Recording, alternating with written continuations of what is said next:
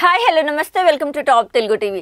భారత్లో బ్యాంకులకు రుణాలు ఎగివేసి లండన్లో తలదాచుకుంటున్న మద్యం వ్యాపారి విజయ్ మాల్యాకు సోమవారం గట్టి ఎదురుదెబ్బ తగిలింది.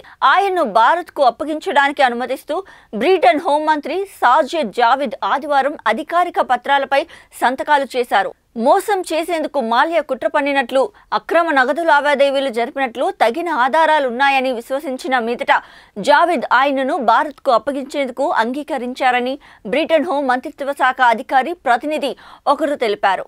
మాల్యా మోసానికి పాల్పడ్డారన్న భారత్ వాదనలో నిజముందని ప్రాథమిక సాక్ష్యాధారాలు ఉన్నాయని లండన్లోని వెస్ట్ మినిస్టర్ మెజిస్ట్రేట్ కోర్టు గతంలోనే చెప్పింది. ఆయన్ను భారత్కు అప్పగించాలని డిసెంబర్ పది రెండు వేల పద్దెనిమిదిన మెజిస్ట్రేట్ ఆదేశించారు. బ్రిటన్ చట్టం ప్రకారం తమ దేశంలో తలదాచుకుంటున్న ఒక వ్యక్తిని మరో దేశానికి అధికారికంగా అప్పగించాలంటే హోంమంత్రి అనుమతించాలి. అది కూడా కోర్టు తీర్పు వెలువరించిన రెండు నెలలలోపు సంతకాలు చేయాల్సి ఉంటుంది. దీని ప్రకారం ఫిబ్రవరి మూడున జావేద్ సంతకం చేశారు. దీనిపై హైకోర్టును ఆశ్రయించడానికి మాల్యా మాల్యాకు ఫిబ్రవరి నాలుగు నుంచి పద్నాలుగు రోజుల గడువు ఉంది. అక్కడ కింద కోర్టు తీర్పు వెలువడితే సుప్రీంకోర్టుకు వెళ్ళవచ్చు అక్కడ కేసు విచారణకు రావడానికి కనీసం ఆరు వారాలు పడుతుంది. విచారణ పూర్తయి తీర్పు రావడానికి కొన్ని నెలలు పడుతోంది.